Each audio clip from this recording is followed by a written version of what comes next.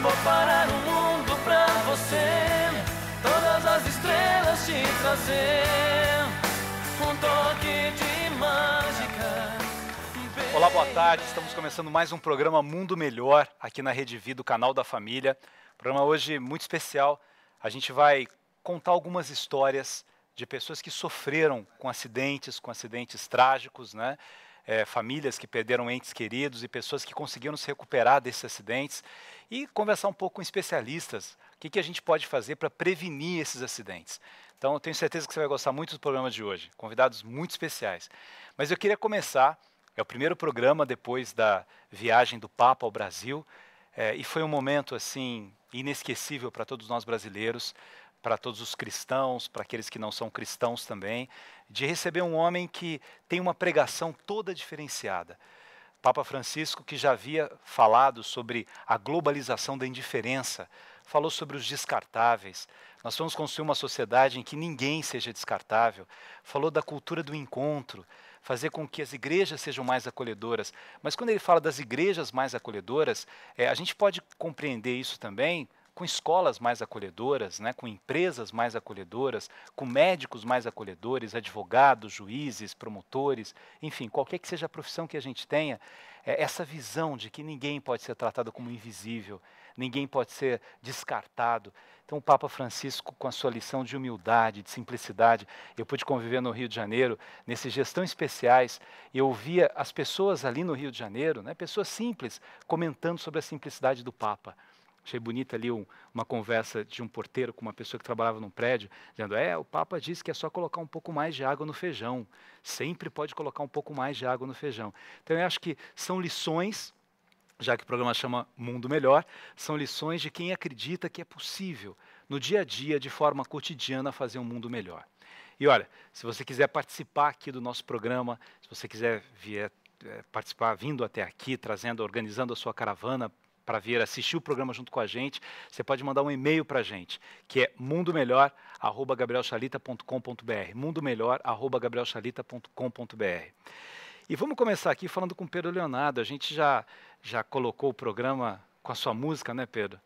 Para que você se sinta em casa. Ah, tô me sentindo em casa, tô bem demais. Muito obrigado pelo convite, muito bom estar aqui, viu? Que bom te receber. Eu fui visitar lá no hospital, né? Eu vi junto com a sua mãe, assim, toda Você a sua família. Eu te vi no Tava hospital. Tava só bagaço, né? Tava um bagaço. Depois foi melhorando, foi ficando menos bagaço, menos bagaço é. e está aqui, graças a Deus, né?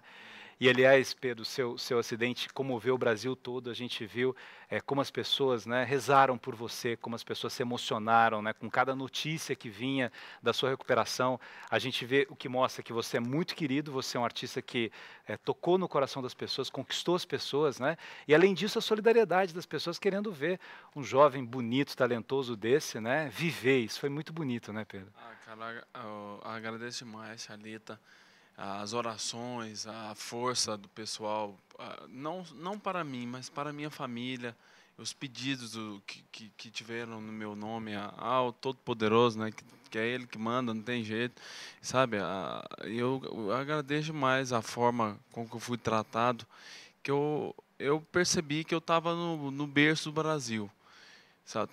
Tava, o Brasil estava cuidando de mim, eu vi muita coisa no YouTube depois, depois que eu, que eu acordei, que eu estava ainda no hospital, muita coisa eu vi por lá. Então, tipo assim, eh, eu vi a, a pregação das pessoas, a oração das pessoas. Quando eu tive a alta, a, a, às vezes as pessoas vinham falar comigo, elas vinham falar com, não, Pedro, eu rezei demais para você. E aí, no dia da alta, o, que eu fui falar o microfone a primeira vez, o Tiago, meu primo, me cutucou, falou, orações. Agradece as orações, agradece a força tal. Aí eu fui lá, agradeci. Ah, foi muito bom, agradeço demais todo mundo. Pedro, você ficou um mês de coma, né? Em coma. Foi. 30 um, dias. 30 dias é. em coma, né? É, da, daquilo que você se lembra do começo da sua melhora no hospital, assim, que imagens você tem de... Eu me lembro da, da uh, quando eu estava internado no hospital, eu só me lembro da parte que eu estava internado ainda, mas eu descia dentro do próprio Sírio-Libanês fazer reabilitação. Já fazia neuropsicóloga, fonoaudióloga, fazia fisioterapia para voltar a andar. É, por causa dos pinos, tem dois pinos colocaram aqui no fêmur aqui. Aí, então fazia os treinos tudo lá. Eu lembro quando eu descia para fazer, já para fazer a minha recuperação, reabilitação. Né? E, e, e, o acidente, assim, é, você você estava voltando de um show é, e você atribui isso a quê? Cansaço? Você acha que você cochilou? Não faço você... ideia, não faço ideia, porque eu não me lembro de nada, nem do show, uhum. nem do show, cena nenhuma, nada. Nada. Eu nunca, eh, eu nunca voltei depois de show embora. Principalmente a distância de, de Uberlândia para Goiânia, que é 300 quilômetros, 300 e poucos quilômetros, muito, muito longe, né? Então nunca voltei quando distante de show, assim, não sei o porquê. Também não quero nem saber. Gra tá bem, agradeço a mais Deus, né? a Deus que eu estou bem. Estou aqui para trabalhar, vivendo bem, vendo minha filha crescer. Deixa eu falar com a sua mãe um pouquinho. Maria Aparecida, e aí? Eu vi você no hospital, a sua angústia, né? Quer dizer, o Brasil acompanhou também. É verdade. É bom ver o filhão fácil. bem assim, né? É, é, é só honra e glória para o Senhor, né? Para todos que colaborou com as orações, lógico. E testemunho vivo do milagre, porque para nós, os próprios médicos, né? Que é muito difícil. Hoje, graças a Deus, a medicina com com o lado espiritual estamos dando bem junta, que é muito importante. Que se não fosse Deus ali, acho que nós todos teríamos ido junto com Ele. Não tinha ficado era ninguém. Mas graças a Deus, cada um com a sua fé. Eu, em momento nenhum, eu tive dúvida. Desde o primeiro instante, eu entreguei ela no colo de Nossa Senhora. E tinha certeza que ela não ia deixar eu receber meu filho, assim como eu deixei ela receber o dela, pelos meus pecados. E então, eu entreguei na mão dela.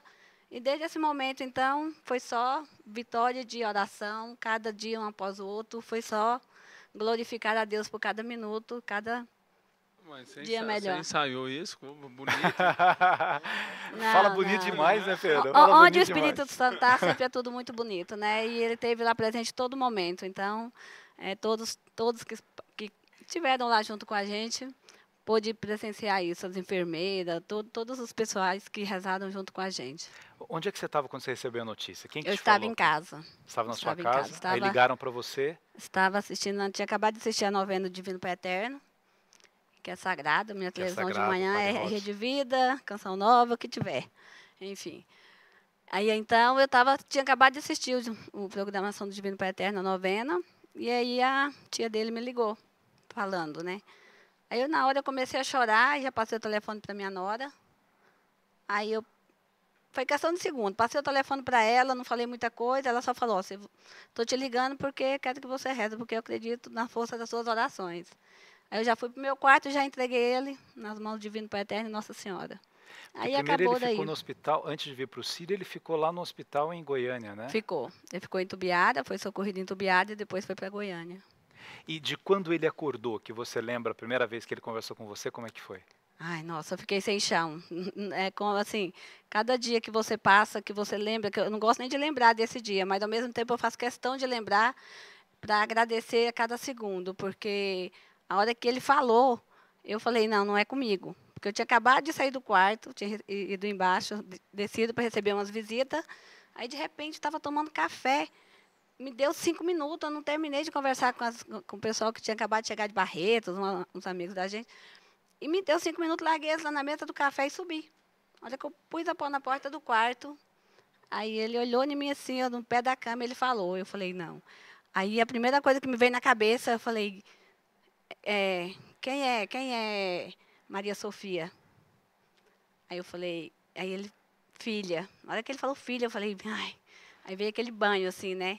Aí perguntei da, da Thaís, quem era a Thaís, aí ele, irmã, aí lembrou depois da esposa, aí depois do pai dele. Então, assim, foi, a gente foi te- testando. Sempre assim, frisando muito bem que até ele conseguir lembrar, a gente tinha que fazer, eh, no caso, a gente fazia a mesma pergunta três vezes, que estava junto eu e a Fono. A Fono estava com ele também no momento. Então, a Letícia. Então, assim, três vezes para poder ele assimilar a pergunta. E aí, muito lentamente, ele respondia. Mas só a forma dele lembrar para nós, que estava todo mundo naquela expectativa. Vai lembrar, não vai lembrar, porque tinha um grande risco dele não lembrar, né? Na verdade, de ninguém. Ô Pedro, disso você se lembra? Dessa, de- desses primeiros momentos que você falou o nome da sua filha, da sua mãe e tal? Não lembro de nada. Não lembra de nada, né? Só sei que eles me contam e dou risada.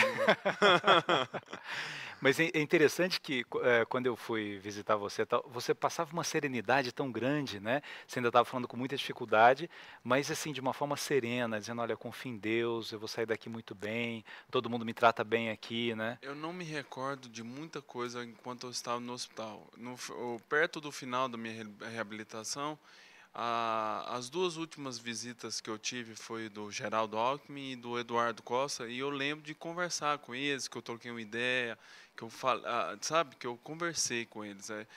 O restante não me lembro, porque a minha memória recente era assim. Eu acordava de manhã, minha mãe, Pedro, acorda, você tem que ir pro Sírio-Libanês.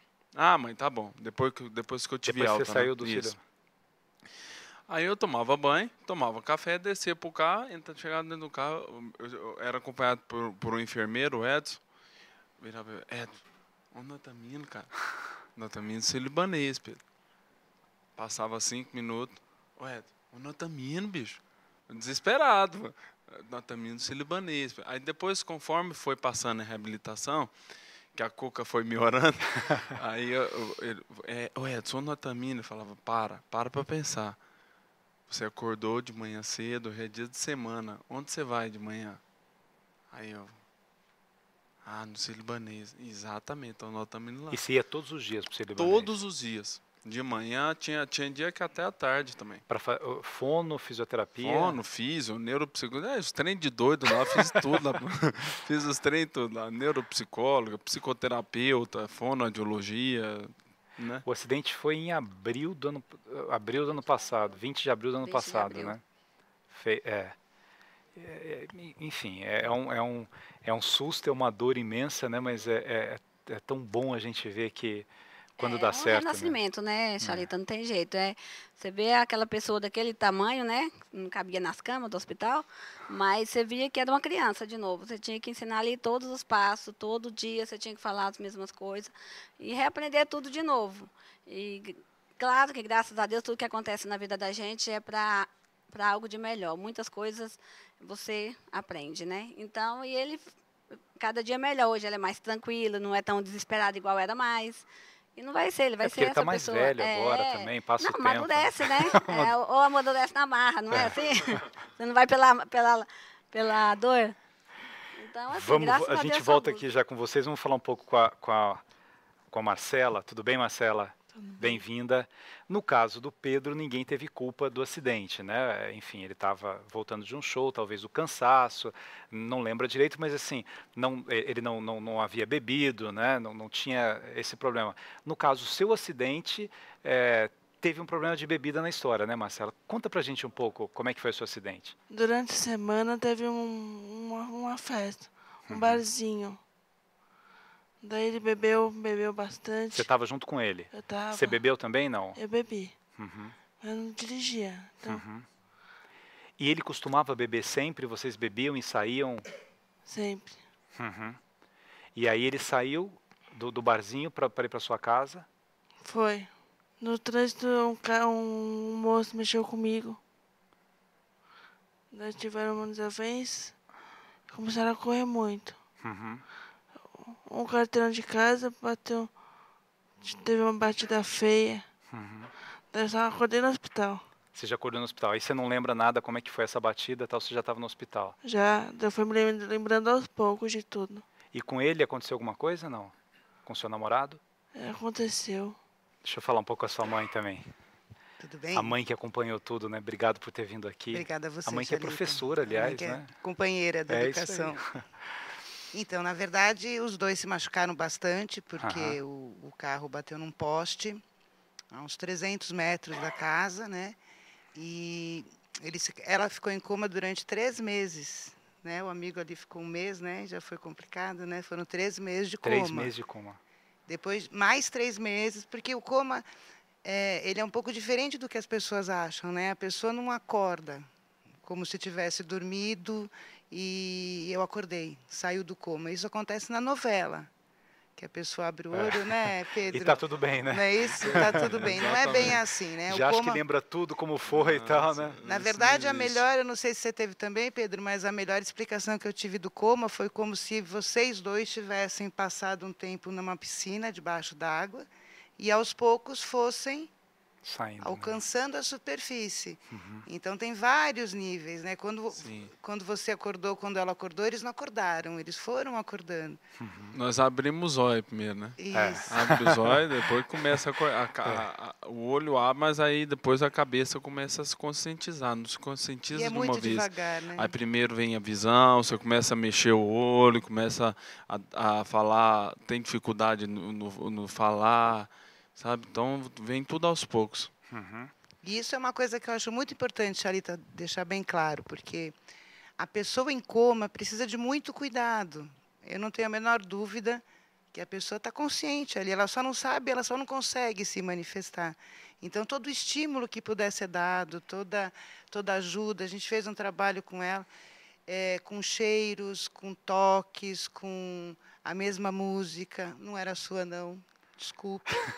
Poderia ter sido. Teria ficado menos tempo. no Teria conto, ficado melhorado menos mais tempo. rápido. né? Tanto romantismo, né, Pedro? É, isso aí. Na verdade, é um trabalho, é um, é um- essa volta à superfície, ela é muito demorada. Então, realmente, quando eles acordam e olham para a gente, primeiro a gente não acredita, né? Porque já olhou um dia, já mexeu alguma coisa, e aí começa a reaprender, a reaprender a quem são as pessoas que cercam, a falar, a ler, né? Acho que deve ter sido também assim com ele, a, o que- onde eu estou, o que está acontecendo. Então,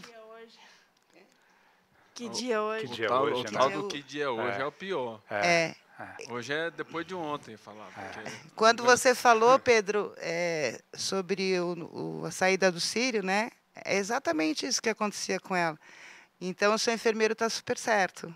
Primeiro a gente vai respondendo, depois a gente só vai cobrando. Já te falei. Eu falei para você agora mesmo. O que, que foi que eu te Para disse mesmo? estimular mesmo, né? Estimular. É, o cérebro, ele é plástico, Chalita. Ele tem as sinapses todas podem ser refeitas, né? Eu tentei entrar em contato com você quando eu soube do seu acidente, não consegui.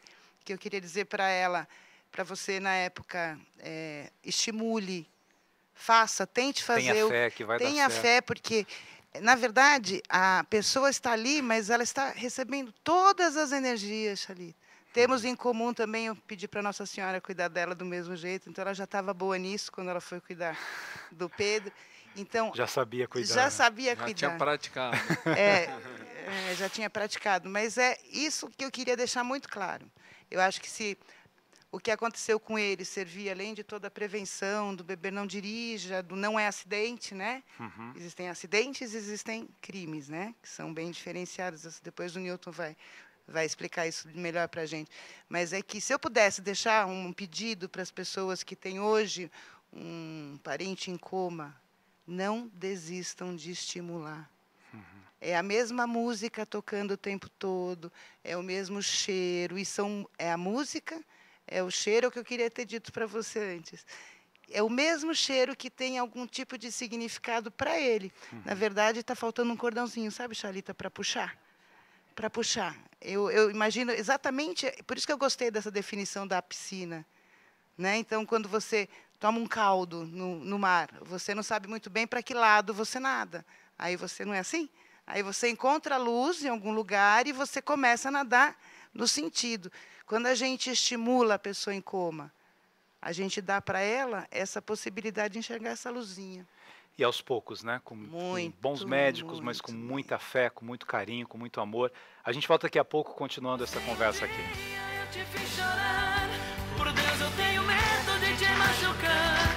Pois se você soubesse minha timidez, Perdoaria toda essa insensatez Esse sentimento que me faz sofrer. Invade minha alma, choro por você. Amor, eu não aguento.